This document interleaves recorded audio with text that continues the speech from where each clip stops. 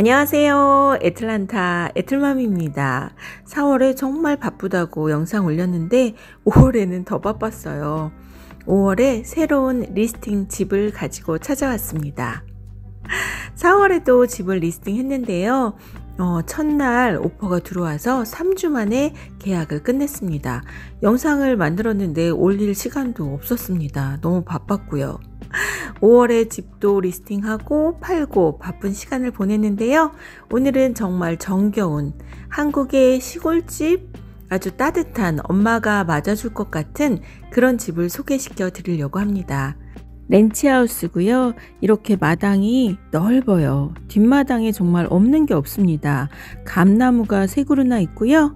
예쁜 꽃들 그리고 상추, 고추, 미나리, 와 케일 이 집을 사시는 분들은 이런 걸 덤으로 공짜로 뿌리로 다 가져가실 수 있습니다. 제 손님이 사셔서 제가 자주 놀러 와서 이런 거 같이 갖고 드리고 또 저도 얻어가고요. 렌치하우스 어, 계단이 필요 없는 1층 집이에요. 정말 관리가 잘 되어 있고요. 앞마당, 옆마당이 다 넓습니다. 어, 주인분이 정말 꽃 나무를 너무 사랑하시는 분이라 이렇게 예쁘게 가꾸고 가꾼 집입니다. 어떠세요? 막 속이 시원하게 넓은 집이죠? 어, 시골, 한국 멋진 시골집 상상하시면 될 것 같아요. 어, 햇살 5월에 애틀란타 햇살이 정말 너무너무 예쁘죠? 하늘의 구름도 예쁘고 이 예쁜 구름 때문에 제가 애틀란타에 정착을 하게 되었어요. 이렇게 넓은 마당에 50만 불 이하의 집을 아직도 구할 수 있습니다. 애틀란타고요. 뷰포드에 위치하고 있습니다. 하이웨이 118번에서 5분도 안 걸리게 정말 가까운 곳에 위치해서 교통도 좋고 학군은 세킨즈 학군이에요. 귀넷에서 적극적으로 밀고 있는 AI 전문 고등학교라고 해야 될까요? 엄마들의 기대가 아주 큰 세킨즈 하이스쿨에 위치하고 있어서요. 교통, 학군, 그리고 넓은 땅 모두 모두 가진 집입니다. 어, 물론 약간 올드해 보인다고 생각하실 수도 있는데요. 저는 이런 정겨움이 너무 좋습니다. 어, 이런 정겨운 집을 얻고 싶으신 분 연락 주세요. 또 뒷마당에는 이렇게 기도방으로 써도 되고 이런 화초들을 가꿀 수 있는 온실로 사용할 수 있는 방이 예, 덤으로 있고요. 요 어항 커다란 인조 어항도 있어요. 물고기 기르실 수 있고요.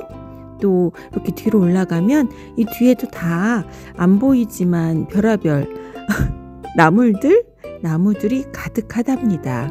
음, 조금만 더 손보면 진짜 배추 농사 져서 팔아도 될 정도로 엄청 엄청 넓어요. 예쁜 꽃들도 물론 많이 있고요. 제가 너무 좋아하는 하얀 들꽃, 들국화가 피어 있고요. 상추는 뭐 너무너무 넘쳐나서 온 교회 분들이 다 나눠 먹어도 될 정도로 많이 열리고 있습니다. 저도 이날 한가득 얻어다가 남편하고 삼겹살하고 같이 먹었어요. 돼지 불고기하고도 먹었고요. 자, 안으로 들어가 보실까요? 하나로 연결되는 넓은 거실과 부엌, 다이닝룸이 정말 정말 넓어요. 이 긴 쇼파에 하루의 피로를 싹 풀어줄 것 같은 느낌이 드는데요. 일하고 와서 계단 안 올라가고 쇼파에 바로 누워서 쉴 수 있고요. 부엌의 breakfast area도 굉장히 넓어요. 햇살도 잘 들어오고 뒷마당 바라보면서 차 한 잔 마시기에도 좋은 집입니다.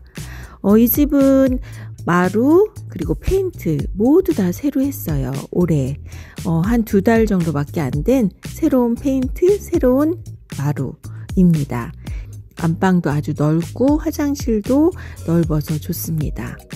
그리고 다른 두 개 방은 안방하고 뚝 떨어져 있어요. 그래서 아이들을 키워도 뭐 서로 방음이 너무 잘 되어 있고요. 또는 뭐 손님이 오셔도 걱정이 없습니다. 이렇게 뚝뚝 떨어져 있는 방들이 서로 소음이 하나도 안 들리고 또 널찍널찍하니 아주 편하게 되어 있습니다. 어, 아는 친구나 동생하고 렌트로 같이 살아도 좋을 집이고요. 아무튼 정말 편안하게 쉬실 수 있는 그런 집이에요. 어, 여기다 커다란 dining table을 놓으면 뭐 한 20명도 집에 초대해도 문제 없고요. 애틀맘의 5월 listing 소개해 드렸습니다. 연락 주세요. 기다릴게요. 감사합니다. 애틀맘이었습니다.